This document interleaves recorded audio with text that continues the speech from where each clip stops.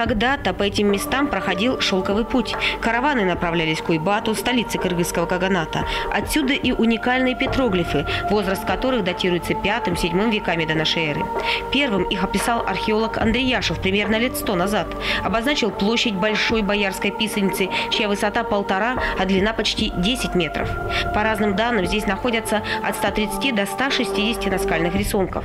Здесь представлены разные типы жилищ. Это и деревянные, деревянные дома, четырехугольные, и изображения здесь представлены юрт. Э, очень интересная конструкция, вот с такими загнутыми углами, крыши, э, немножко напоминает китайскую архитектуру, да.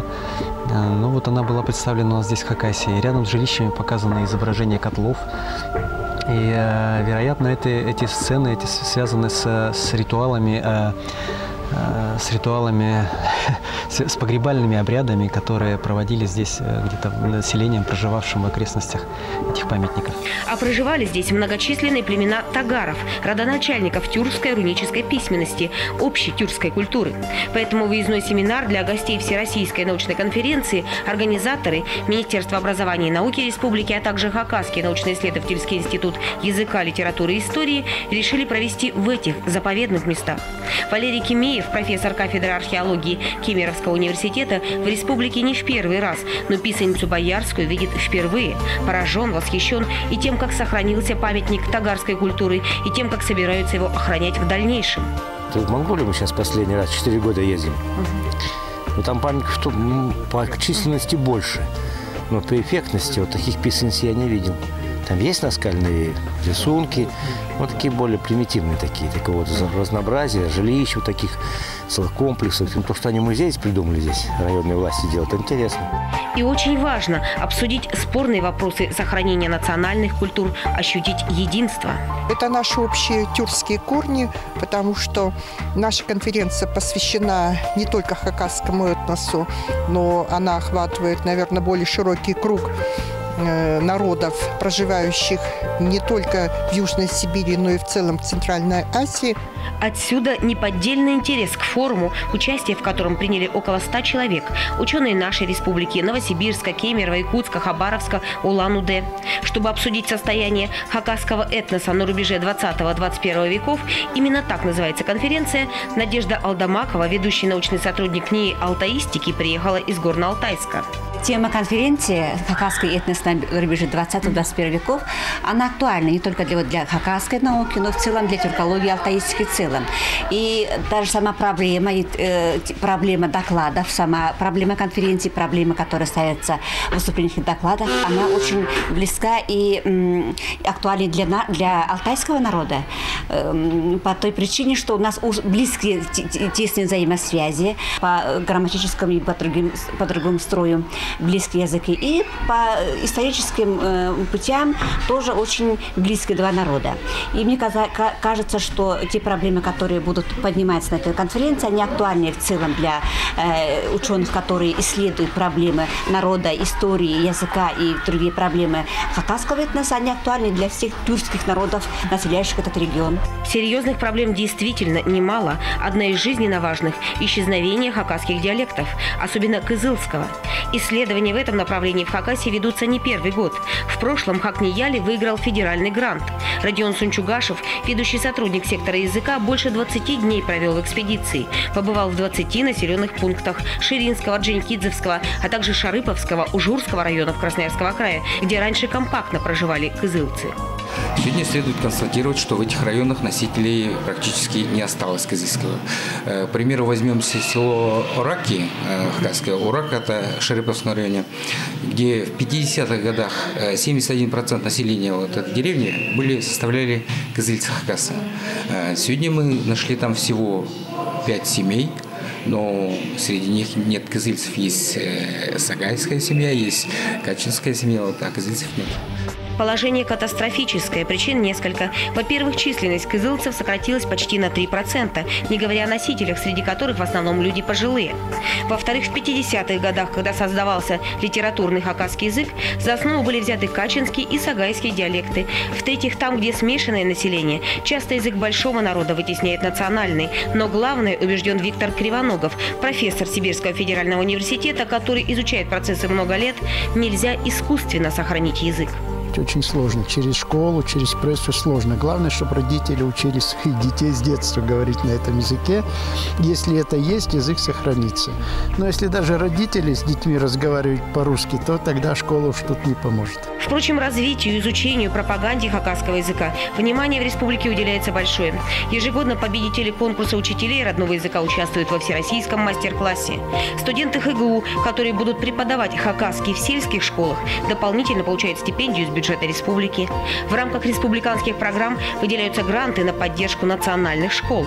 Сегодня тысячи детей по республике русских изучают в том числе хакасский язык. Сегодня 72% всех детей хакасской национальности изучают хакасский язык. Но опять это же большей частью Аскизский район, Таштыбский район, Бейский район.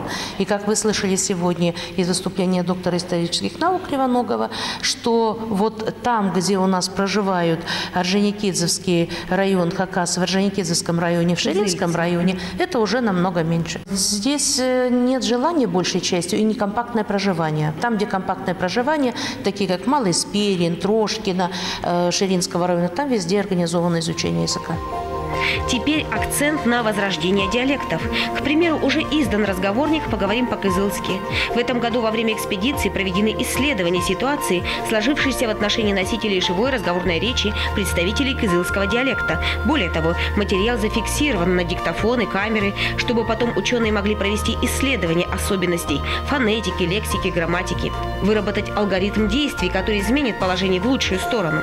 Изложили его в резолюции и участники Всероссийской конференции подкрепили статистическими данными, отметили динамику изменения отдельных групп населения, сравнили с началом 20 века, периодом существования Советского Союза, состоянием современным, а также, что особенно важно, указали перспективы. История же она чрезвычайно важна для того, чтобы определиться, а что делать дальше. И не зря сегодня выступающие говорили о том, что итогом конференции станут рекомендации, которые будут переданы в том числе и органам исполнительной власти для принятия управленческих решений. Чрезвычайно интересно сегодня проходит конференция в плане именно исторических исследований, тех выводов, которые делают ученые. Хотя, казалось бы, некоторые вещи являются вполне очевидны, но именно научные их объяснения объяснение говорит о том, что нужно корректировать свою деятельность.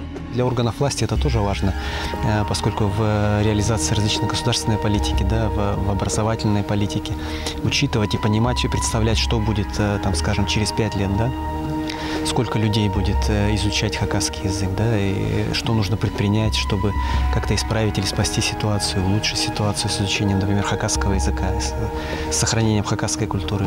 Все конференции, они проводятся для какого-то подведения итогов а, по той или иной проблематике и для расширения, в общем-то, международных и вообще не только международных культурных связей прежде всего с теми учеными, с которыми мы на протяжении долгих лет работаем. Поэтому данная конференция, она позволяет и нашим ученым, э, языковедам, литераторам посмотреть э, в те общие наши тюркские корни, посмотреть не только современную историю, но и познакомиться с историей Хакасии в древности культуры высокоразвитые, насчитывающие тысячи уникальных памятников, в списке которых Копенский Чиатас – один из самых значимых.